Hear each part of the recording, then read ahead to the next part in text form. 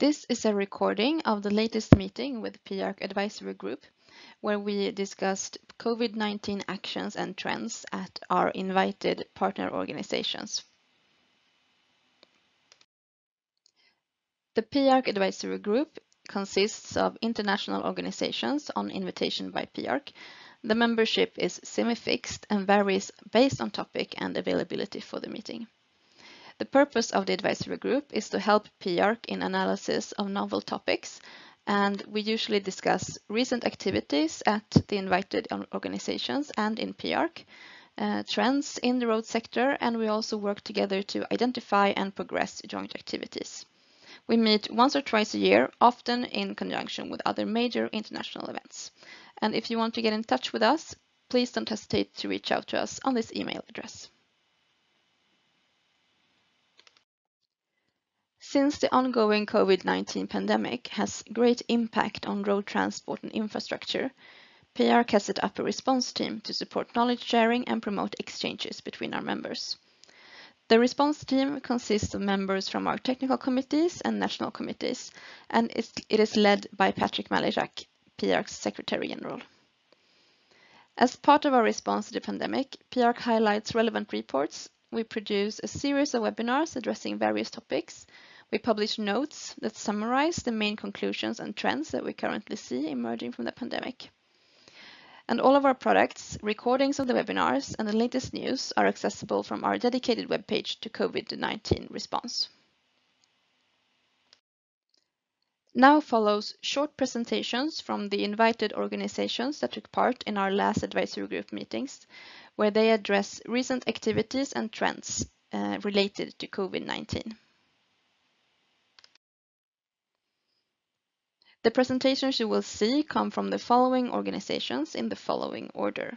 We will start with a presentation by Hector Varela from CAF, the Development Bank of Latin America, followed by Franz J. Gross from World Bank, Ningning Wang from China Highway and Transportation Society, Susanna Zammataro from International Road Federation, Jeffrey Paniati from Institute of Transportation Engineers, Ivo Cré from POLIS Network, Neil Pedersen from TRB, Transport Research Board, Mohamed Mezghani from UITP, Jim Walker from Walk21, and Per Mathiasen, European Investment Bank.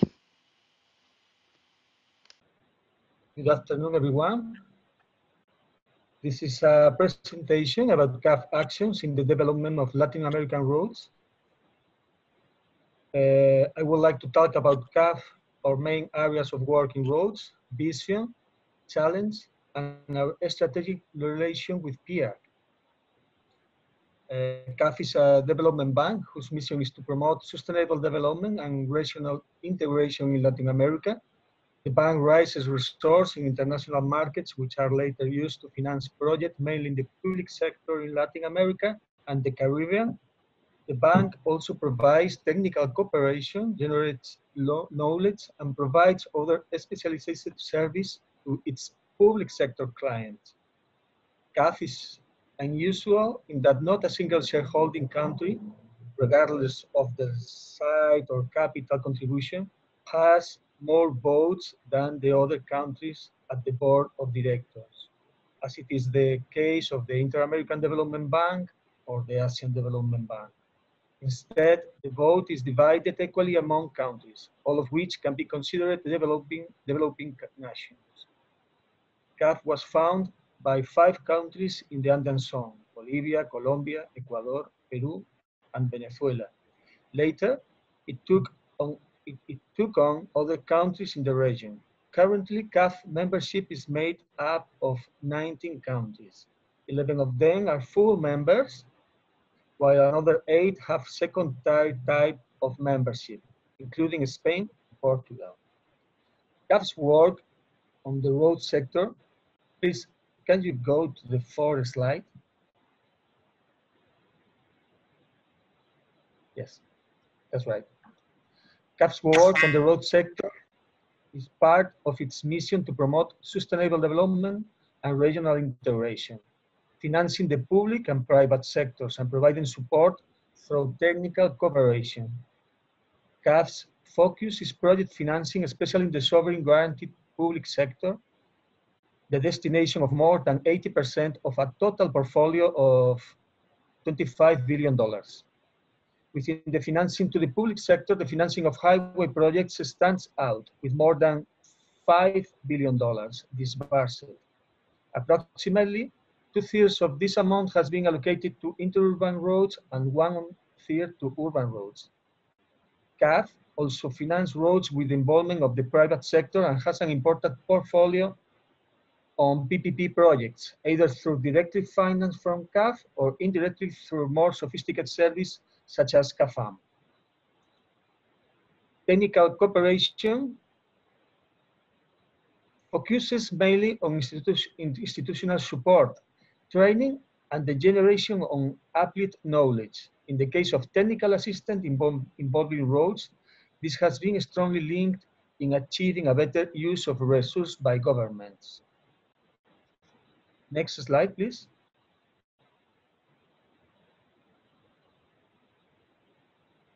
Um, about our, our, vision. Roads in Latin America are located in a complex context. There are large distances to be linked between the agricultural, agricultural producing areas and the large centers of demand. Also, transport links must cross areas of difficult geology and often hit by heat adverse weather events. Also, there are institutional, social, and economic weakness. This is eventually reflected in the construction and maintenance of networks, which end up with low coverage and bad quality, resulting in high substantial transport costs and rather high accident rates. This is clearly reflected in the analysis presented, presented, presented on the slide. The level of road infrastructure investment in the region is well below the world's average and at the bottom of regions in the world. The world's average road infrastructure investment per capita is $6,045, while in Latin America is $2,180 per capita. You can, you can see this diagnostic in our website in the link attached. Next slide, please. Okay, these circumstances make us build a strategic vision involving road infrastructure, infrastructure based on three pillars. The uncertainty in the future created by the COVID-19 pandemic, the high level of complexity involving the prioritization of investment in the road sector, and without a doubt, to face the first two points just mentioned, mentioned, the evolution of governance is key. Next slide. We believe our main challenge for the future are promote increasing investment to achieve at least 200% increasing investment in ground transportation to reduce the infrastructure gap and support economic recovery. Um, strength, strengthen the processes with a long-term view in promoting efficiency through a planning culture, an evaluation culture, and a culture of maintenance, and incorporate new technologies with the aim of improving productivity and transparency in the construction sector. And continue with the generation and dissemination of knowledge, for example, massive offline, online open course.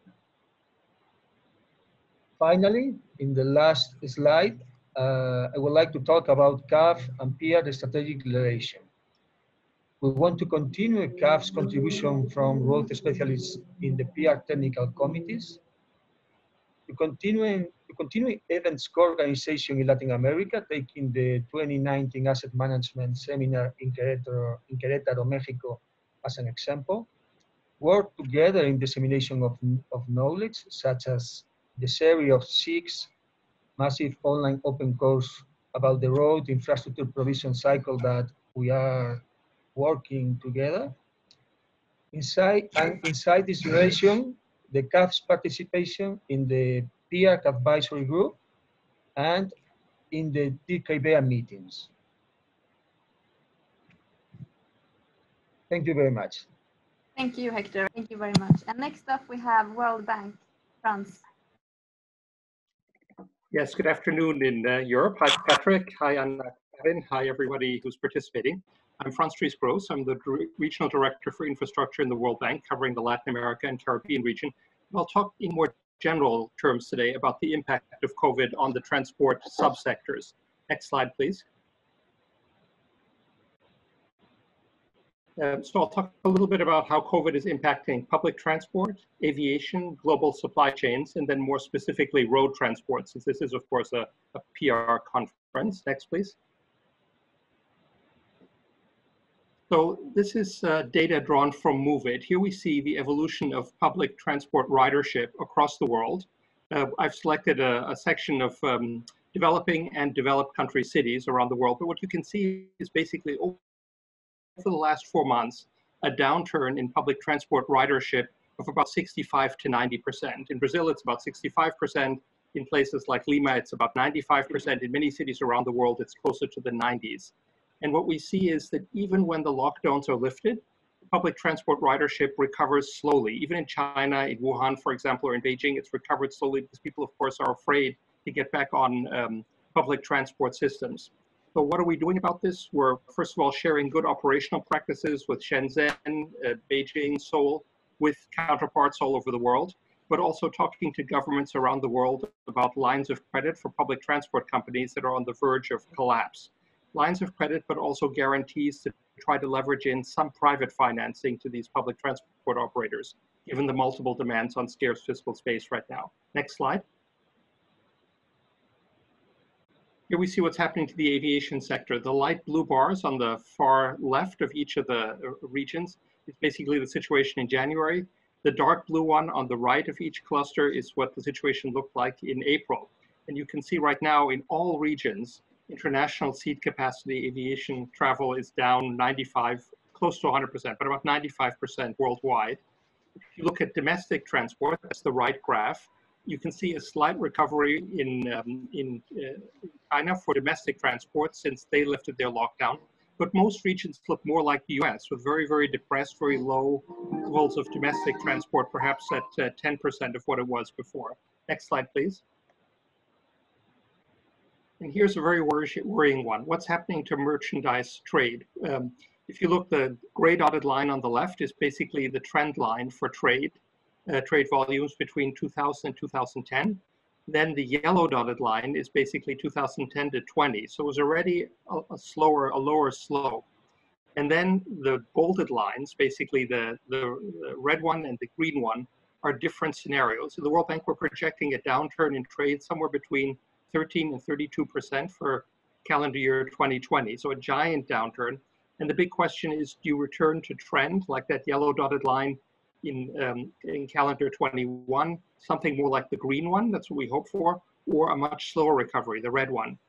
On the right side, you see the way different countries around the world, color-coded by the time they took measures to restrict medical uh, exports. That's a very worrying trend. And what you don't see, for example, here is that in Africa, 22 countries have completely shut their borders. So there's at least 35 million people being fed by uh, World Food Program right now in Africa and other others who are at acute risk of famine in Africa because with the border shutdowns, essential goods, food, medicines, etc., are not getting through. So unless those border uh, shutdowns are um, eased very quickly, we may have a, a very, very dire uh, supply situation. Next slide, please. Now, let me tell you a little bit focus on the road sector. What are we doing about this? Next, please. So one thing we're looking very carefully is how does, um, how does the COVID crisis impact the road sector? Well, one very clear way is that many countries who've been successful at attracting private financing for toll roads, of course, are seeing those PPPs under stress right now. So let me just take an example. It's on the bottom of the screen. If you have a highway PPP, suddenly you have a reduction of toll revenues because the, uh, the number of vehicles traveling on roads is so much slow, lower with the, the lockdown. Now that could mean two things. Either it's the private concessionaire that's suffering losses, or the private or the public side is uh, basically has provided some kind of a revenue guarantee under the PPP and is now on the hook to provide support to the private operators. So how can we prevent these concessions all from going belly up and declaring force majeure? There's a couple of options. You can, of course, lengthen the concession periods and give the private sector a longer period in which to recover his investment. You can offset set the downturn in toll revenues with government payments, but very few developing country governments have the fiscal space for that. You can backload investment requirements. So there's many things that we're working with countries around the world right now, talking to them about how to save some of these road transport concessions and allowing them to survive this uh, the COVID downturn. Next slide, please. So what I also want to say is now we're looking, talking to a lot of governments that are starting to emerge from lockdowns, is how can they restart their economy with fiscal stimulus? This is on the left, you see um, the number of jobs created for $1 billion public investment stimulus. This is a study done in Latin America in 2009 after the global financial crisis. And the reason I put it up, I thought you'd be interested to see that basically rural road maintenance is the best way to create short-term jobs with low-income earners.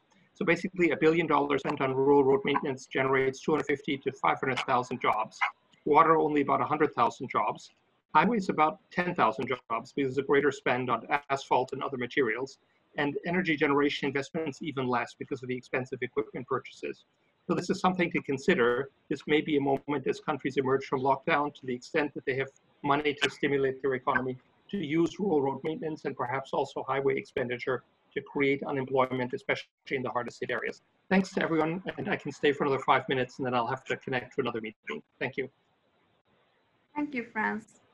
Uh, so since you have to leave, maybe we should make an, an exception here and see if there's anyone who has a comment or a question to you before you need to leave. So let's take a, a few minutes break here and, and see if there is anyone who has a comment or question for, for Franz.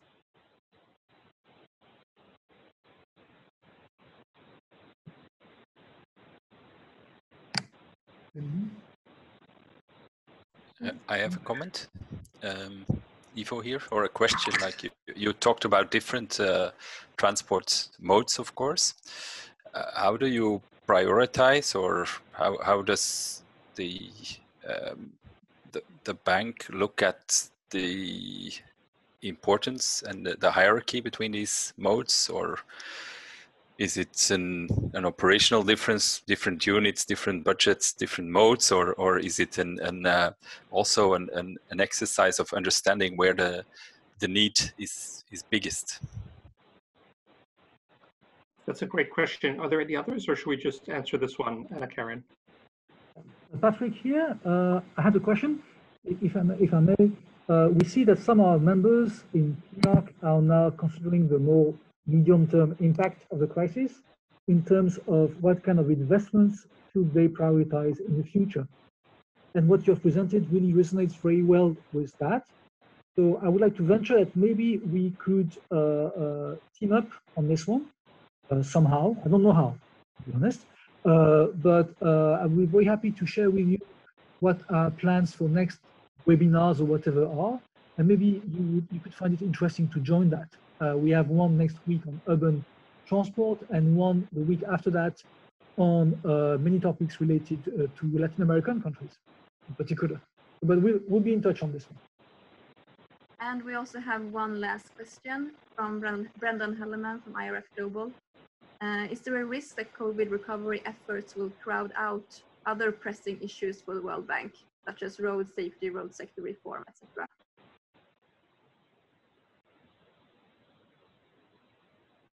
Excellent. Thanks so much. Excellent questions. Let me begin with Patrick's question. Just say we'd be delighted to work with you. So this is an older study, the one that's currently on the slide, basically the world after the 2008-9 financial crisis and employment generation for all of Latin America.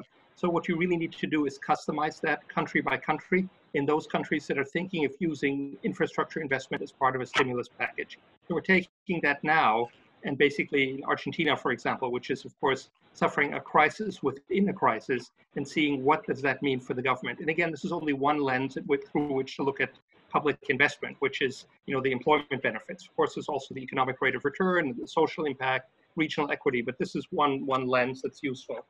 Uh, let me just then talk about Christian's question and Ivo's. How do you prioritize within modes, between modes? Well, first, when we lend to countries, they have an overall lending uh, borrowing envelope, just as they do with CAF. Hector talked a little bit about this, but you know, essentially, we don't tell them you have to invest in infrastructure versus schools or healthcare, et cetera. And of course, right now, many countries are using World Bank funds to respond to the immediate healthcare crisis. So they basically decide what to use their borrowing envelopes within the World Bank for. Now, that said, what we say is in whatever sectors that they do want to intervene, what would be a smart way to do so that uses public money in the most sparing form possible? Because right now, the, competing, the competing demands on public finances are so huge. I mean, transport is only one tiny little subsector. You know, everybody's got their hand out right now, and with good reason. People who've lost their jobs, health clinics that you know aren't staffed, et cetera, et cetera. So what we say is, well, if you're going to bail out um, PPP highway concessions, here's a smart way to do it that is light on the fiscal purse, right? Stretch the concession periods, um, reduce the investment uh, um, requirements, basically stretch them out in time. And just to try to think how you can use the minimum of public money to save them.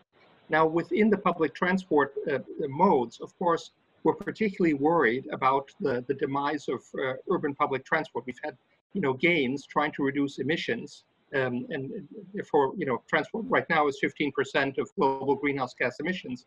But there's a real risk of what's called revenge pollution.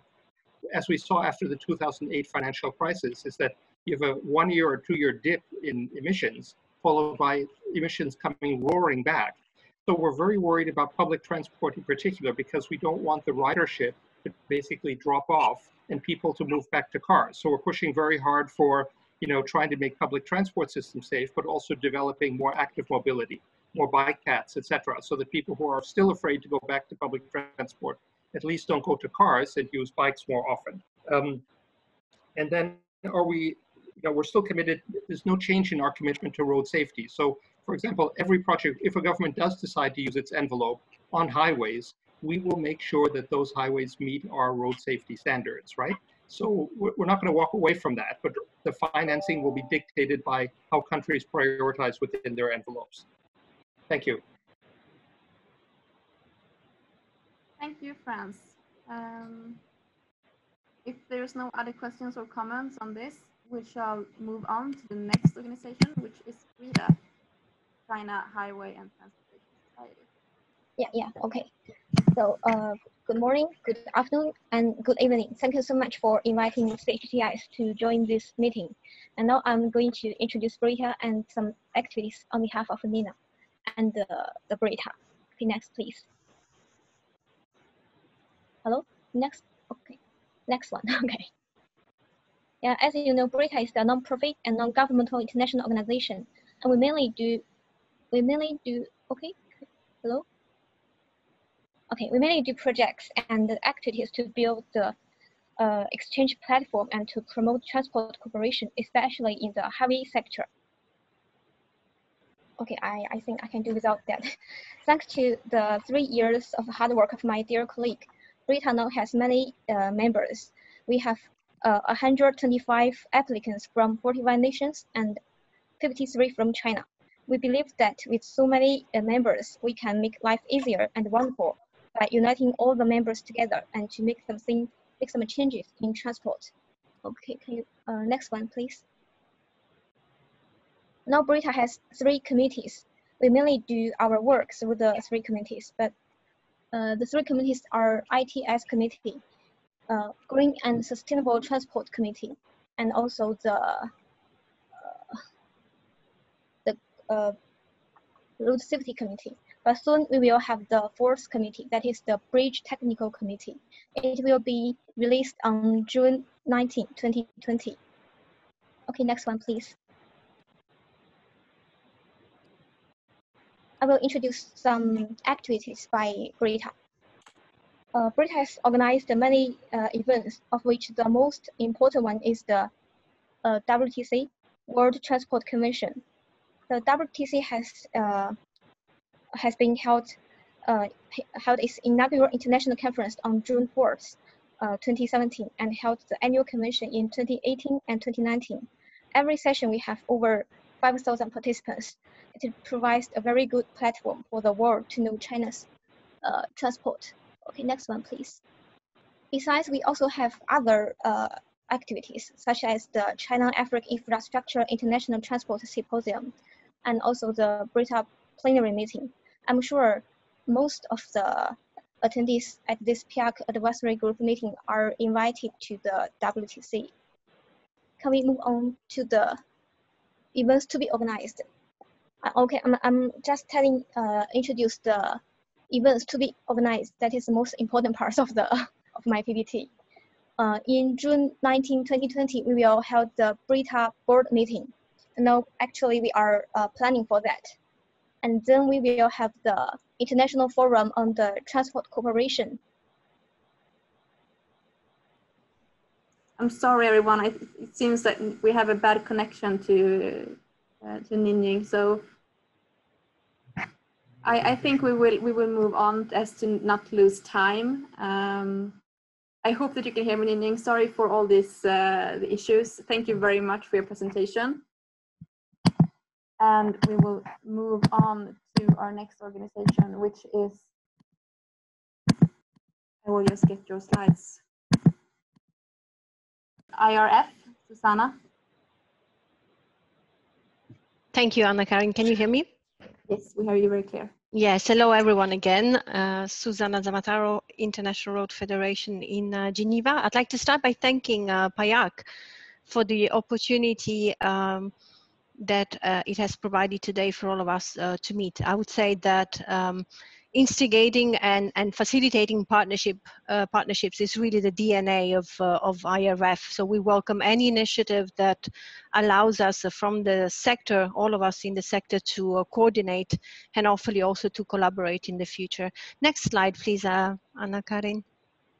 Um, I think I know most of the people in the um, in the call, but two words in case as newcomers um, here. Uh, we are an independent, not-for-profit organization uh, operating and serving uh, the roads and more recently uh, the mobility sector for the past uh, 72 years. Memberships spanning uh, from public sector, so ministries or government agencies, a lot of private sector, but also research institutes. And um, I would say activities, plenty of different activities, uh, all organized around three, uh, what we call the three strategic uh, pillars, knowledge and expertise um, sharing and dissemination, the, the networking, so the connections and, and policy advocacy work. Next one, please. The first um, the first um, update, uh, making a selection, given that we only have five minutes for this. Um, IRF is a steering committee member of the Sustainable Mobility for All, an initiative which is led by the World Bank and rallies around the table 55 organizations uh, from the transport, uh, transport uh, sector, some of them as well in this call, uh, DFID, UITP, and others. Um, in the new uh, phase of, of, of, work of uh, SuM4All, IRF is uh, currently co-leading, uh, together with the World Business Council for Sustainable Development, the new working group on data sharing for sustainable uh, urban uh, mobility. It's a piece of work that looks at um, how do we create um, policy frameworks uh, that will enable data sharing uh, for urban mobility. Next one, please. Why uh, this interest uh, in data? Of course, well, data is the new oil, as everybody says, but IRF has also 56 years of, of experience in uh, collecting data from uh, from the sector. More, many of you will be familiar with the IRF World Road Statistics that cover 208 countries. most important um, thing probably for you to know is the third bullet point. These data are collected not from the internet, but from primary statistical offices. So through a network of that we have built over the past 56 years with ministries, road authorities, national statistical offices. And we do use the definitions of uh, the glossary of transport statistics, which is uh, defined by the ITF, Eurostat, and UNECE. It's another fundamental point because, of course, anyone who knows uh, a little bit of data, it's important that um, that uh, we we uh, we compare apple with apples. Let me put it like this. Next one, please. The probably uh, important update for you to know um, as far as our data are concerned, thanks to the support of the Total uh, Foundation, uh, we have uh, launched in February uh, in Stockholm, in fact, the IRF Global Road Data Warehouse. Uh, we have basically built a, a, digital platform on which we have now all our time, time series and it's a tool that allows us as well, well, first of all, to the users as well to um, analyze data and, and consult data more uh, easily. It's um, uh, it, it's also the the platform has a number of of, of different um, new functionalities that allow you as well uh, to visualize and compare um, data. It has been uh, built in a way that um, um, other data sets uh, out there can be plugged uh, plugged in, and in this we'll be um, happy to explore anyone um, potential collaboration with anyone on this call who is interested um, in uh, taking a look at the data warehouse and what we have and how we can join hands. Next slide. And we, on the top of that, uh, we have also created a series of uh, dashboards. Uh, the ones that you see on the screen is just an example of dashboards we have done specifically on, uh, on road safety and which were presented um, in uh, in uh, Stockholm. Um, part of this work, in fact, will be helping and supporting the work um, of the road safety observatories, regional road safety ob observatories um, that are being built both in Africa and Southeast Asia. Next slide, please. It's just an example of the global one and the country one. Next one, please. Now, capacity building is also, I would say, one of the major uh, pillar of, of around which we organize our activities, capacity building that we try to bring to the countries themselves. So we have been doing some, some interesting work uh, uh using the uh, network of the Global Alliance of um, of NGOs for road safety. So we did some um, multi-stakeholders capacity building on data in uh, Africa. We do work with Total um, trying to put, uh, pull together as well the uh, efforts of the private sector when it comes to road safety and building in-country road safety coalitions. We do have long-standing collaborations with the T2 centers in Africa and specifically the one in, in uh, Tanzania with the University of Birmingham and, and, Qatar University as well to deliver professional uh, courses in the countries and in the region. Um, I'm happy to see Rob uh, probably speaking after me, so I'm anticipating if he will be touching upon this. Uh, we have the pleasure of um, uh, working with IRAP, IARC, and um, the United, uh, UNECA, so United Nations Economic Commission for Africa, on one of the 10th uh, uh, projects that have been uh, selected and announced uh, during Stockholm. It's, uh, it's a project that will be piloting um, the framework that you see in this publication on the right-hand side of, of the slide, the 10 steps plan for safer road infrastructure. We'll be piloting that in, in Tanzania with the Tanzania uh, authorities as well. Last but not least, uh, we have also launched, and that was particularly welcome in this period of, of lockdown, new online training courses on sustainability. Next one two words uh, on the other side of the of, on the side of more innovation we just launched an irf committee on connected and autonomous mobility it's a committee that will try and and well the focus is is uh, pretty much on infrastructure because we felt there was a gap um, uh, in, in, that respect, but we are also federating a number of other initiatives under this uh, unique umbrella with the uh, intention to really coordinate uh, a little bit the sector. Uh, another important information, we are part of this big uh, 69 consortium that will be delivering the show project. It's the biggest EU demonstration project on automation and it's on urban mobility. And I'm happy Mohamed is on the line because UITP is leading that effort. Next slide, and I think it's the last one. On the coronavirus, four important uh, update for you. Um, IRF is working since weeks with its own uh, members. We're finalizing uh, what we call an IRF position paper that will outline a vision and providing some suggestions on the way forward, especially um, for the recovery post uh, COVID-19 and um, to uh, provide some answers uh, or our point of view on some of the things that uh, Franz from the World Bank was uh, mentioning uh, before.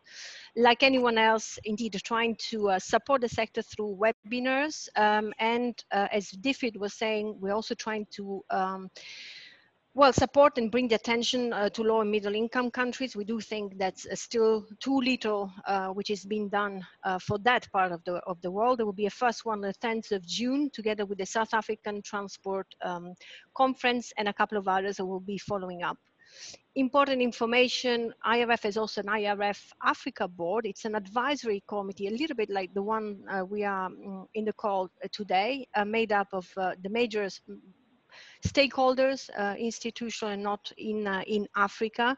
We'll be meeting with them on the 15th of June, in fact, to exchange ideas and, and to make sure that um, we do align um, activities and response uh, in a way that really helps uh, low and middle income countries. In terms of uh, resources, uh, we do support, we're members of SLOCAT and Sustainable Mobility for All, who have been channeling all the resources through these two, um, these two uh, channels, but also filtering the, the information a little bit for our membership because when there's uh, uh, so much information, it's like not having information. So uh, we'll probably do something else uh, going forward um, on that one as well.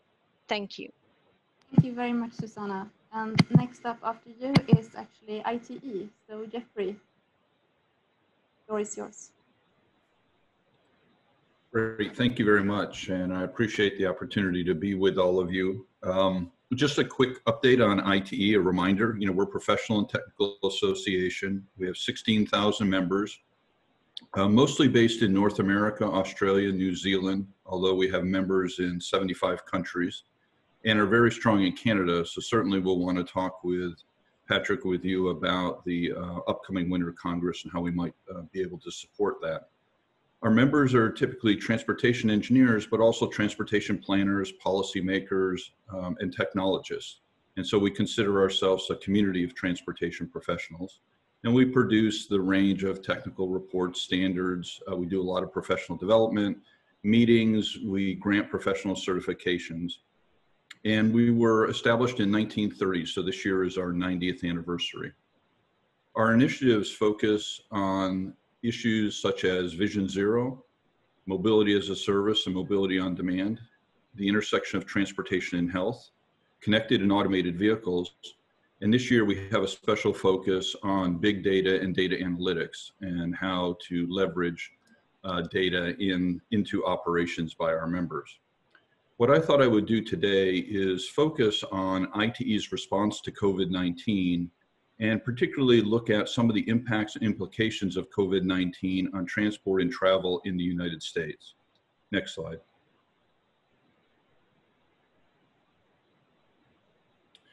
So in terms of IT's response to COVID-19, we've done a number of things. Uh, we've created a curated resource page, and I'll show you the link to that at the end of the presentation. We felt it was best to try to um, capture information that was being produced by a wide range of organizations and organize it for our members in these four categories. So information on transportation, the information on the impacts on travel, uh, information that would be useful to organizations, both public and private sector, and then information that individuals could use in their own um, safety and that of their family. We've done some deeper dives into topics that we think are particularly relevant right now. For example, we did a podcast looking at the future of public transit with the head of the uh, American Public Transit Association. We did a webinar um, looking at how different cities in, in, the, in North America have opened their streets to accommodate walking and biking. And we have a working group that's focused on um, developing some technical guidance on doing traffic counting and traffic estimation in this uh, period. We've created some new engagement opportunities for our members. Um, we have do, been doing these 30 minute unstructured focus group type drop-ins. Uh, we did them daily for the first month and we're now doing them every Tuesday and Thursday. And then last week we announced a virtual annual meeting where we reimagined our annual meeting, which would be a, a typical meeting that would be in a four or five day window and we're now doing it over a three week period and organized in a totally different way to allow members uh, to engage in this annual meeting. Next slide. This is a bit of a snapshot on the impacts of COVID-19 on transportation in the United States across the various modes. And I think you can see that it, uh, it mirrors some of the information that was shown earlier in some of the earlier presentations on this topic um, you know, significant impact obviously on air travel, uh, with passengers you know, down in the 90% range. Dramatic impacts on the use of public transport, um, down 80, 85 to 95%. On the road, um, truck travel remained pretty steady as the demand for deliveries continues. Uh, but auto volumes, you know, way down in the early period for here in, in kind of late March to late April, recovering somewhat as we move into mid and late May.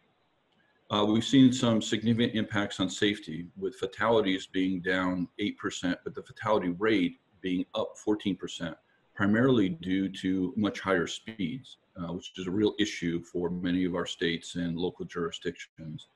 And then I mentioned earlier opening up streets, and we've seen hundreds of miles, probably about 500 miles across the US in urban core opened up for increased biking and walking. Next slide. So what are our expectations? Well, in the short term, and I define short term as the kind of the pre-vaccine period, and you know, obviously, there's a lot of questions on how long that period could last. We're assuming that's you know probably at least an eight-month period, and perhaps up to 18 months.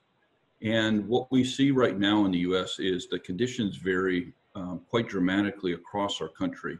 Very different in some of our urban areas and some of our rural areas. Very different right now on the East Coast versus the central of the country and the West Coast.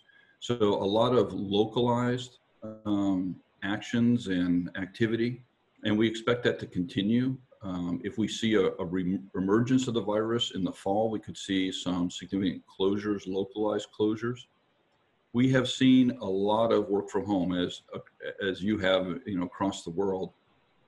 There's been some estimation in the U.S. that approximately a third of our workers can work from home and may continue to work from home uh, for uh, some period of time activity, uh, we, we see reopening, but activity is not being determined by what's opened. It's being determined by individual risk assessments. Where do I feel safe to go? Not where can I go? And obviously the activity will be generational. Uh, we see more uh, risk taking by young people, less by older people who are more, more vulnerable. Next slide. When you translate that to transportation, these are the kinds of things that we would expect to see. That uh, overall transportation demand will remain depressed in this short term period. Air travel will be dramatically de depressed, as will transit usage. Uh, biking and walking, on the other hand, will remain at elevated levels and um, there'll be increased demand for space for that. We're seeing the transition, the move to single occupant vehicle usage and um, as increasing, I think we will see increased mode share for throughout this short-term period on single occupant usage. And I would expect the trend we're seeing in safety to continue, that uh, fatalities will be down as passenger travel is down, but the fatality rate may be elevated. Next slide. So these are just some longer term questions and implications, and I won't step through all of them, but I think these are the kinds of things we need to think about even after we get to a vaccine. What, do we see in terms of permanent changes in terms of tra travel? Uh, you know, not willing to travel as much long distance, shift to work from home arrangements on a more permanent basis, perhaps impact on our cities in terms of the demand for downtown office space and all the supporting elements of that. Next slide.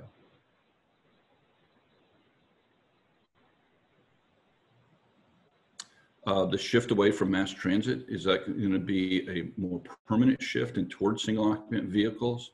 The demand for more space for biking and walking? And then for, on the forefront on everyone's mind is funding for transportation.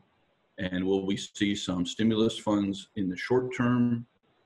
Uh, but what about the long-term prospects as COVID-19 has had significant impacts on state and local budgets and what will be the length and shape of that recovery and, and how dramatically will it affect availability of funding for transportation over the long term. So these are all questions or issues that I think are unknown right now, but certainly at the forefront of everyone's mind.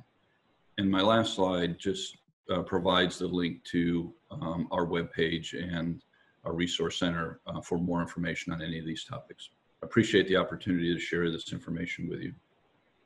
Thank you for sharing. And next up, we have POLIS Network and Ivo. Um, I will explain quickly what, what we do on COVID-19 and what we notice in our, in our membership. So we're a network of uh, 80, over 80 cities and regions working on, on urban mobility. Uh, next slide. What we noticed was that there's no uh, recipe for this disaster and, and, we have from the start tried to gather as many best practices of cities as possible. Uh, and you find that also on the next slide, a couple of examples. Um, across different modes, across different uh, approaches, um, creating an offer, but also managing uh, public space, uh, public transport as an important factor, um, but uh, also having an immediate response to allow care uh, care workers, health workers to, to reach their destinations, etc. Also, cities have um, um, suspended uh, regulatory measures like uh, uh, low emission zones, parking, etc. In, in the, the deep lockdown phase. Uh, next uh, slide, please. So the what we are now in the phase we are now in, we notice that cities try to uh, avoid to get from lockdown to gridlock. Um, and next slide, please um, you see that there are several measures taken to, uh, on the one hand, ensure that there is um, an uh, sufficient movement of people possible, but also that this movement can happen in a, in a safe way. Uh, and we don't want to end up in, in a situation where, um, yeah, we return to, um, to the, the uh, problematic situation there was uh, before the, the lockdown. In the next slide, you see uh, the results of a survey we did uh, on uh, COVID-19 and the response uh, cities have or what they expect uh, mobility will look like uh, in the months to come. There are two um, issues I want to highlight. The fact that um, most of the respondents expect increased walking and cycling, but also a large share expects negative effects on public transport, which is, is very problematic, of course. In the next slide, uh, you find a couple of examples of cities who have been uh, fast tracking uh, plans they had anyway. So uh, long-term uh, sustainable urban mobility policies that were defined have been um, implemented in a in much quicker way to uh, really push for a modal shift and to allow um, in in cities to to have an, um, a better balance of space basically because um, at this moment in, in many occasions where you need social distancing um, but also where you have to compensate for an, an under usage of public transport or under availability of public transport uh, more space for active travel needs to be provided. Uh, next slide please. So this is also the respacing is also backed up by um, yeah by science and there are there's really good research done on on, on uh, understanding where um, there are bottlenecks uh, where there is uh, the incapacity to have social distancing in a safe way in with the current sidewalk widths, etc. next slides, please. Um, that yeah there is this issue of uh, public transport but i think that that uh, uh, Mohamed will will address that as well so i'm not going into uh, into that, but we look at a really a, a, huge number of, of commuters or of travelers that needs to be accommodated. Um, if not in public transport, because there is less capacity or there is less um, a perception of uh, unsafety or uh, there is an issue, um, we need to find ways to to accommodate uh, all these people while also having and build trust again for um, for public transport. Um, in the next slide, you see that it's not all uh, doom and gloom, and we have uh, we see, have seen in urban mobility that life-changing events can be an important factor in changing behavior. Uh, a, lo a, lot of cities have used this phase also to um, uh, to have a trial and error experimentation. Uh, for instance, uh, huge communities have started teleworking, which is also an, uh, a factor to take into account, uh, also for the intercity uh, travel. Uh, and um, finally, I think yeah, the, the idea that the um, uh, we have been really uh, benefiting from from um, the the portfolio of solutions that is available in in cities. And you see that on on this slide that the idea to to really look at a multimodal uh, urban mobility system where uh, shared systems and public transport uh, take up th their role together uh, to to carry people um, but then you need also um, yeah public private partnerships. You need different uh, uh, management models uh, data etc um, i'm concluding with the with the last slide that um, we hope that uh, and you can move on yeah so the idea that we um, that cities will bounce back. I mean, we we have been around for thousands of years, uh, so uh, in bad and good days, um, but um, we also have, have shown, and specifically urban mobility departments have shown that they can act fast and, and that they have an, uh, a good resilience towards uh, finding solutions in, in, in several ways. Um, we also really see public transport as an essential service and we really need to, uh, to work, I build on that. Um, but also active travel has, has really come into the picture and you see that also in, for instance, the sales of bicycles. Um, but yeah, we need this kind of interaction between uh, government levels, uh, between public and private, and that, that's something we want to explore further in the coming uh, in the coming months. So in the presentation, you also find a number of, of links to to the the resources we have made available for for these uh, purposes. Thank you, Ivo. And we will move straight on to the next presenter, which is TRB and Neil Pedersen. Thank you, Anna Karin. And uh, good morning, good afternoon, good evening to uh, everyone. so uh, Jeff Paniati did a really good job of summarizing uh, what the impacts have been uh, in the United States, uh, where we are at this time. what I want to do is talk primarily about what TRB is doing. I think most of you are familiar with TRB, but for any who may not be, we have three major uh, functions. Uh, convening, we're best known for our annual meeting every January with 14,000 attendees. Uh, research, we have four major research programs by mode in highways, uh, transit, uh, airports, and uh, behavioral traffic safety and uh, advising, doing policy studies on behalf of the US federal government. Uh, we are part of the National Academies of Sciences, Engineering, and Medicine in the US. Uh, immediately after uh, COVID-19 appeared, uh, National Academies uh, set up a special committee that has been advising the US government on very, very fast turnaround on issues associated with COVID-19. We converted all of our meetings uh, to online. We postponed uh, a number of our uh, conferences, but uh, we're uh, now planning to be uh, having more conferences done online. more on that in a, a minute. we've had major communications effort in terms of information on our website, our e-newsletter, social media postings. Um, posting a lot of the type of information that uh, Jeff Paniati went over uh, as well. Uh, our uh, cooperative research programs uh, have had a number of reports that have been issued over the past several years uh, related to pandemics or emergency management that we've also been featuring. And um, for those who are not familiar, we have a research database that has one and a quarter million entries and uh, we have a website specifically for that. We've been featuring pandemic and communicable disease uh, research. Next slide, please. So uh, one of the things that we've been doing, uh, getting input from a number of different people is what are the research issues related to, uh, to COVID-19? Uh, we're up to 19 pages of research issues that have been identified at this time. We also have uh, research needs uh, statements database, and we specifically set up a separate part of that for COVID-19 related uh, research.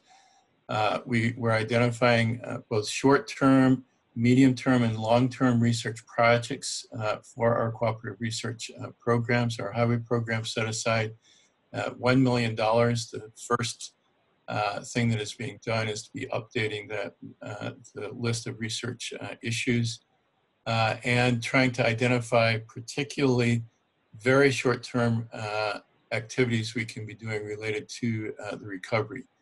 We've challenged our 170 committees to be addressing COVID-19 issues through their committee activities.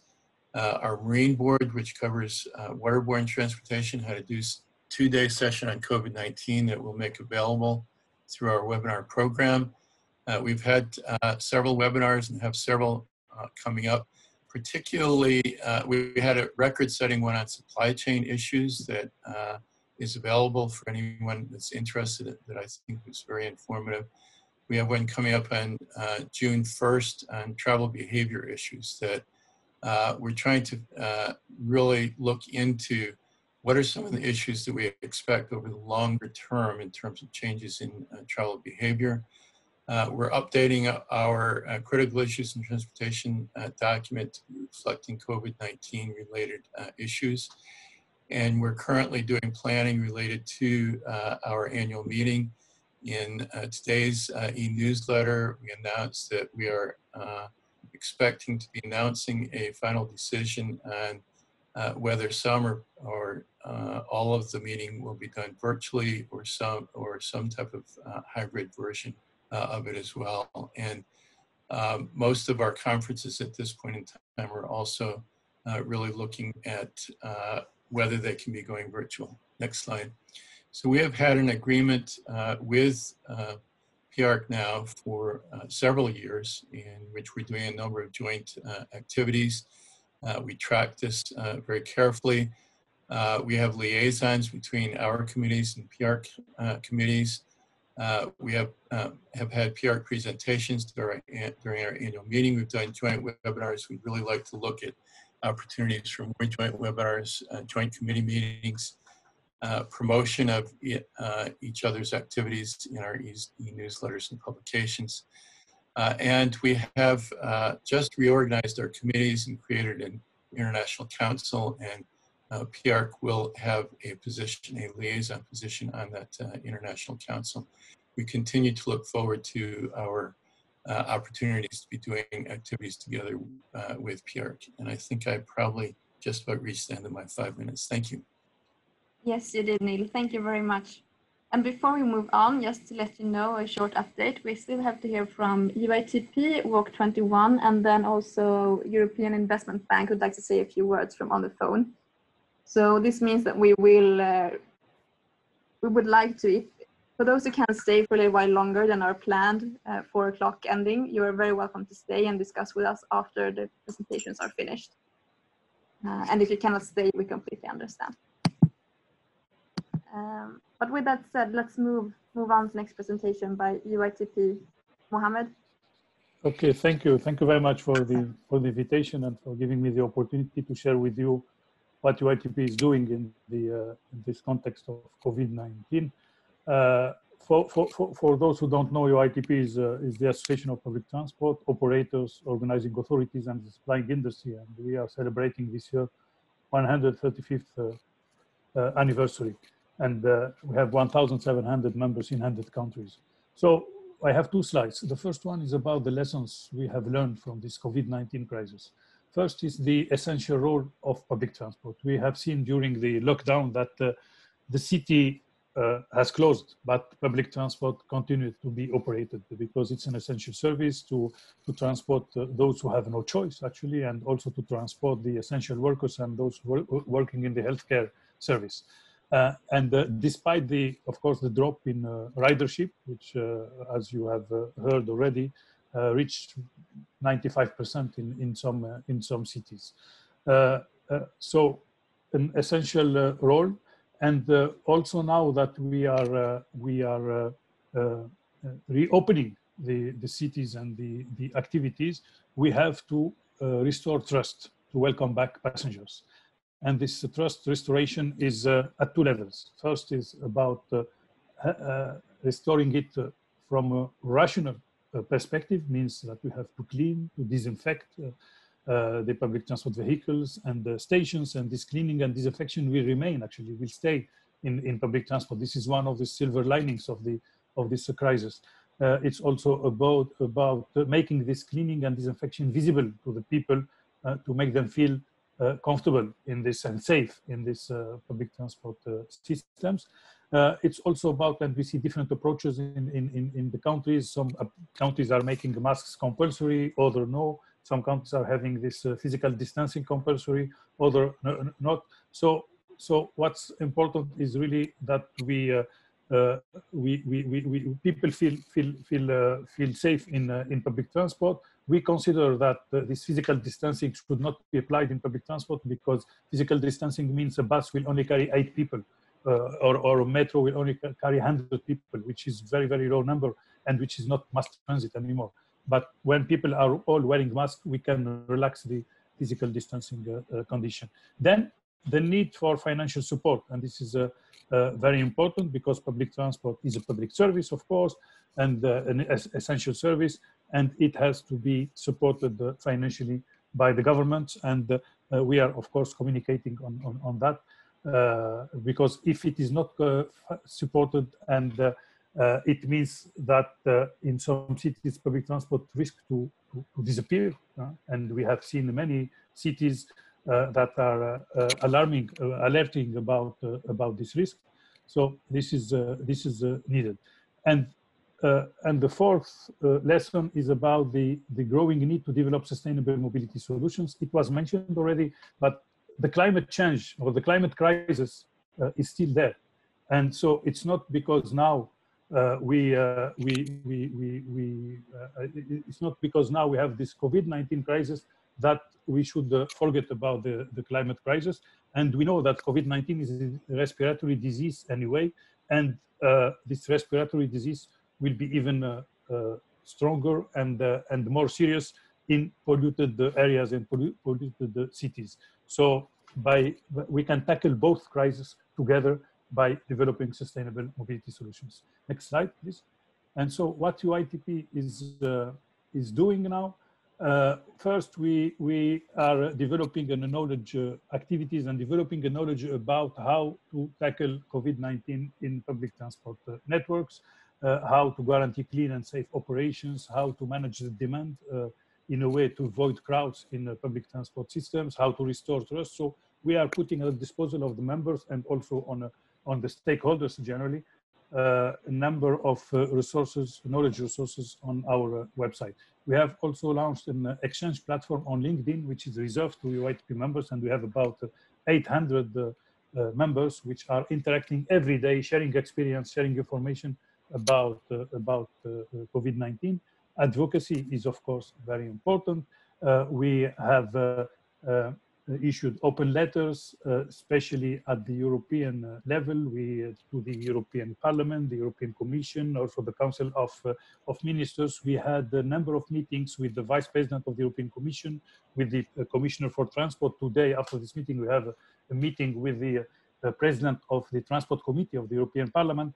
Uh, to increase the awareness about the, the, the, challenges in public transport and the need to support uh, public transport. And also this crisis was an opportunity or appeared as an opportunity, I would say, to, uh, uh, to have more partnership with the sister organizations uh, and with other, other associations to advocate together about, about the role of, of public transport. We have also launched a campaign to recognize those working on the front line uh, of public transport, those guardians of mobility that are uh, advocating, uh, that are uh, let's say, uh, ensuring the continuity of the, of the service, the drivers and the agents in public transport. And we wanted to recognize their essential role uh, in keeping our cities alive. And uh, we have launched a number of webinars. We have every week two or three webinars we are organizing uh, on different aspects uh, related to, to, to COVID-19.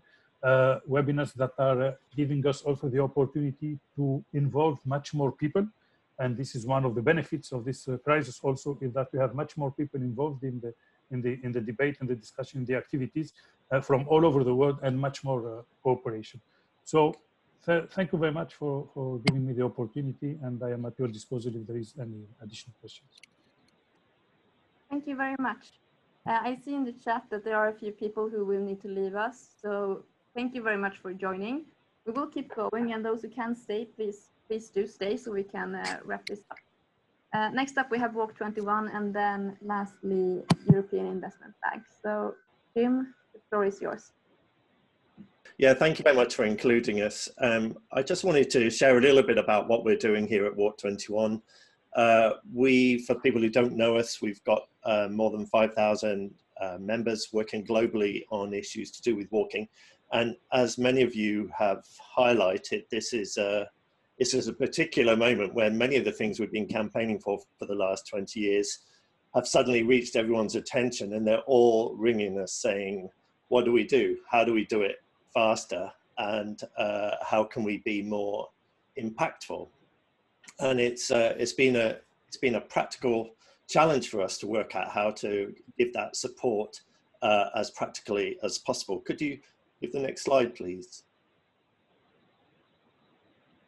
what we uh, tend to focus on when we work with cities uh, and also working um, in partnership with, with governments uh, at a national level is that we're, we're always trying to set the agenda about what it is that people need to create uh, walkable cities.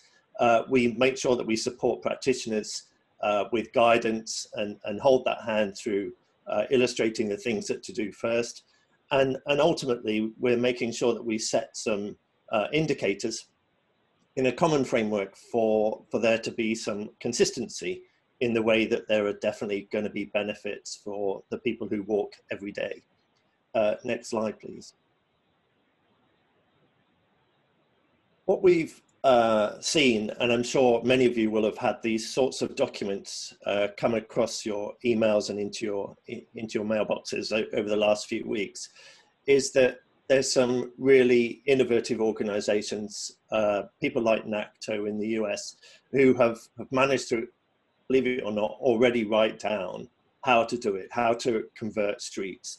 And clearly the main issue that people are, are sharing with us is, is the need to to change capacity and make sure that when we're talking about delivering safety, um, we need to enable people to be able to go out and to make their journeys on an everyday basis as safe as possible. Now, street guidance written in the States may not be appropriate for everyone everywhere, uh, but we think it's a really useful starting point and they're, they're often leading with, with writing these things down because it, it does help inform people about understanding what it is to do and how to do it. Uh, next slide, please. One of the things we've um, been surprised about, however, is, and I think Ivo referred to this, is that what we find is many people already have a cycling plan ready to go. They have a network that they've been thinking about. And from a policy point of view, they already had something ready to deliver. And, and what, we've, what we're finding is that people are just now accelerating the speed of the delivery of that. But very often these sort of network, long distance networks, sometimes cutting across whole cities, uh, five, 10 mile um, cycle routes, for instance, uh, are helpful to an extent. But actually we need to invest in what we think are three core areas, which is neighborhoods uh, where people live, uh, service destination points, which is public transport, health centres, education sites, uh, local shops, of course, uh, and then thinking also about corridors. Uh, and I'm really pleased that we've just gone after Mohamed there because actually the, the relationship with public transport and getting walking corridors work, working on routes where we already have public transport, where people have that familiarity of knowledge around, around those routes, we find really critical. Uh, I've shown this example here from Dublin. This, this guidance literally came out on Friday. Uh, you can download it and have a look at it. It's already 52 pages. Again, the speed that people are writing these things is really interesting. They had data. And I think to pick up Susanna's point, that was really great that they, they already knew not just how many people were using in what mode when, but also where uh, in the city. And they're using this crisis to actually understand, uh, to set a new ambition for how the city might work and, and to adapt everything that they currently do as a, as a level of service to actually change the way that the city operates. So street by street, uh, and, and this combines with uh, campaigns uh, and information, they are changing the way, changing the, the way that the transport is being delivered by reconfiguring space and reimagining how people are going to be practically getting about.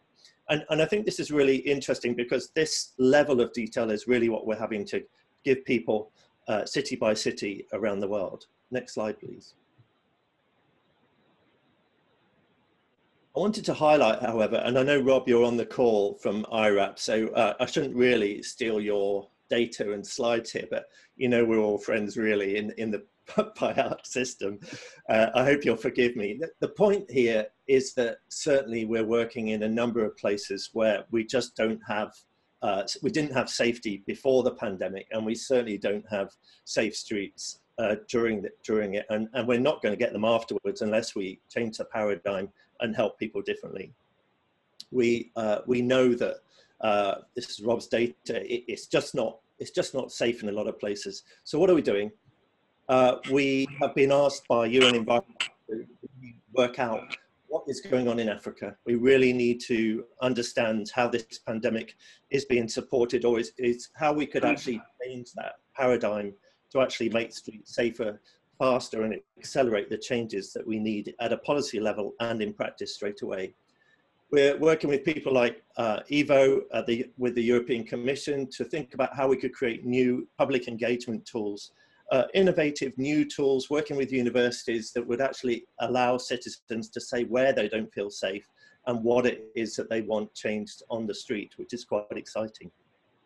And, and lastly, I just wanted to share about action as well, because what we're finding, and it's a little bit of a philosophical point here, but this guy, uh, Colonel Tom, is 100 years old. The only thing almost that he could, he was able to still do, I know he made international news, would still walk. He raised 30 million pounds by walking around his garden and realized that that was all he could do, but it was enough to raise that money. And he, he got knighted uh, just recently. But we're finding that people are saying that basically walking is the essential mobility that we have to get right before we do everything else. And in too many places, we're being called by people saying we realize we haven't yet done enough. So tell us how to help, think about what the infrastructure is, and, and let's try and reorganize things so we can get that right. And uh, we're delighted to be part of this network and, and be connected to you and your members so that we can support those people too. Thank you. Thank you, Jim. Thank you very much. And thank you to every one of you who has contributed to this meeting with, with your presentations and your latest uh, information and thoughts on both your activities and on, on COVID and, and the impact on road and road transport. Uh, so we are over over time. Really appreciate you for for staying. Those of you who are left, uh, and I will just I think open the floor um, for anyone who wants to make a comment or question or uh, give feedback to us at PIARC on what you think we should do or if there's something special you think we should address. And, and also to for us to remind you that we are very open to, to continue discussing uh, even after this meeting and, and in different forums. So, so the floor is open. I will jump in. Patrick here from PIARC. Thank you to everyone for their excellent presentations. I think I've learned a lot. Uh, and we've organized webinars for the last two months now, more than that. Uh, uh, I think we should certainly continue the effort of knowledge sharing.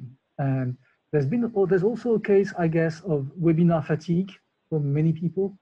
So it's, it's going to be essential in the future uh, that we maybe try and coordinate what we do I'm not saying that we definitely should do that forcefully, but maybe think think about it. For example, next week we organize a, a, a webinar with our own uh, urban transport committee in, in PIARC, and I see that you have uh, Ivo Mohamed Mohamed excellent presentations. So uh, if you have ideas about what we should do there, that's welcome. You are very welcome to join as well as panelists if you want to. It's next week on, on Wednesday. And I would be happy if you agree to add some references to your presentation today, at least if you cannot come, and I would share uh, the web links. Such things could help people navigate. I think Jeff uh, from EIT mentioned it uh, in his presentation. Uh, that was really sharp on that we need to guide people. Uh, uh, Susanna said that as well. We need to guide people through the, the, the the, the, I mean, the, the, the, the breadth uh, and, uh, and width of knowledge that is available here. So if you really want to work with us uh, on this in the future, we, we're planning a, a, a, report, but that's just one report. Right? We're planning a, a, report this summer in the Northern Hemisphere on uh, what we have learned so far and what, what kind of recommendations we can share with our members. So mostly roads and road transport, of course. Uh, well, this is what we do. Uh, that's uh, that's really key. Uh, I started. We started the presentation today with a snapshot of our strategy plan. It's quite possible that some of those committees will need to adjust their terms of reference. It's not the time to say that because we don't want to overreact and to make decisions just now because we wouldn't be sure about what we want to do and what we want to change. But this is probably going to be happening over the next three, four months. And we'll present to our members uh, possible adjustments uh, around September, October, I would say. But if there are things that you see in, about COVID, right, because this is what we have been focusing on today, some activities that you think would uh, uh, prompt you into working with PIARC uh, over the next years or weeks, but years as well, uh, that we welcome. And Anna Karin would be the, the contact point for that. Having said that, uh, well, that was, the first question. That was uh, the first remark. That's not always the easiest. There might be other, other persons here in the room who might want to jump in.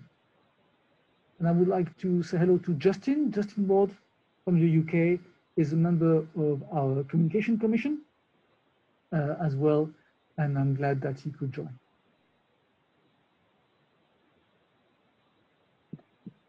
Thanks. So, so I'll just come in briefly, Patrick. It's this is excellent. It really is phenomenal what you've pulled together in terms of the coverage across the world, and I expect a lot of the issues are actually very similar. So I think PIARC's playing a key role in bringing together the thinking and and some of the ideas around about that, particularly from finance, societal issues, confidence, public transport, climate crisis, and so on. So it's a it's a great great initiative and keen to great opportunity to join. So thanks for thanks for letting me in.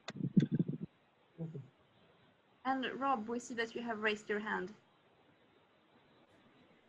Yeah, thank you, Anna Karin, and and certainly been great to hear what everybody is is up to.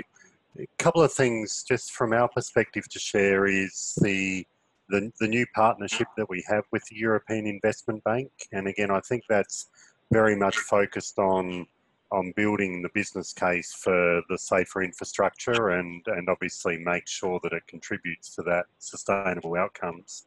We have similar activities happening with the Inter-American Development Bank, looking at corridors from Mexico all the way down through to Panama and looking at the, uh, the return on investment through there.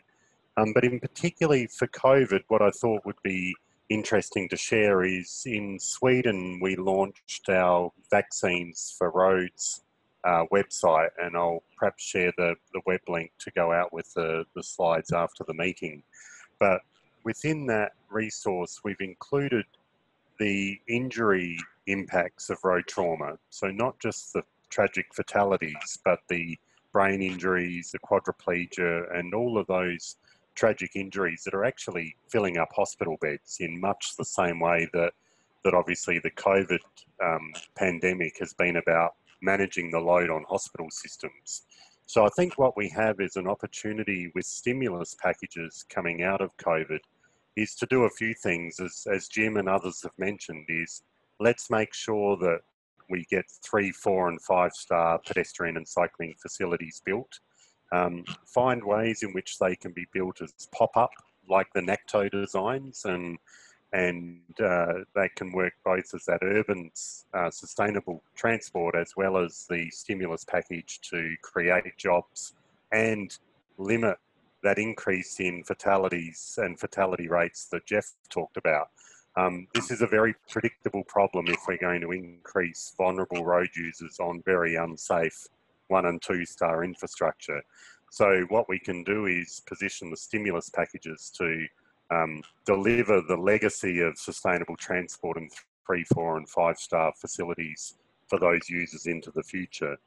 Uh, and, and we're also doing some work with some of the cities around the world with star rating for schools uh, to again make sure that that journey to schools, particularly as it moves more to, to foot and bicycle traffic, is um, is at that four or five star standard for them as well. So uh, just yeah, a couple of quick introductions, and obviously, as Susanna mentioned, we've also got the exciting UN project in Tanzania where we're working together with PIARC, um, deploying the road safety manual, the IRF resources, and the IRAP resources to really build a institutional outcome there in, in Tanzania in a very repeatable way that can be used in other countries all around the world. Uh, so again, a very big thank you to be part of it tonight as well.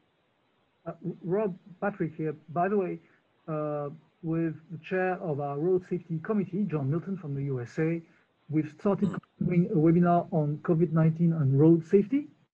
And uh, if you're interested, we could share with you some information about this plan. Nothing is really decided, but it if you think it might make sense for us to work together on this, it might, uh, well, we'd be happy to uh, get in touch with you.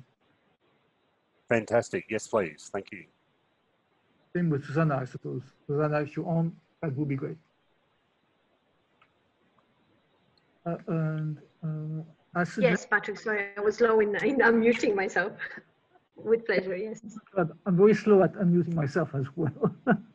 yeah, and I, I think I would like to suggest something if uh, Anna Karin agrees, that we're now nearing the end of the session and maybe we could all turn our meeting. Uh, otherwise, we will just, I think we will put on our masks in here and we can take maybe a, a group picture if, if nothing else. But if anyone wants to add something, please, please do. Thanks again for being available. And I'm really sure we'll be in touch very soon, actually uh, maybe six months from now. Yeah. Yeah. And thank you, thank you, everyone. Thank you to our PR colleagues. And he, he was he was very he was very shy and not mentioned it, but Jeff is actually uh, the the past chair of our strategic planning commission. Jeff in the USA. So thank you, everyone.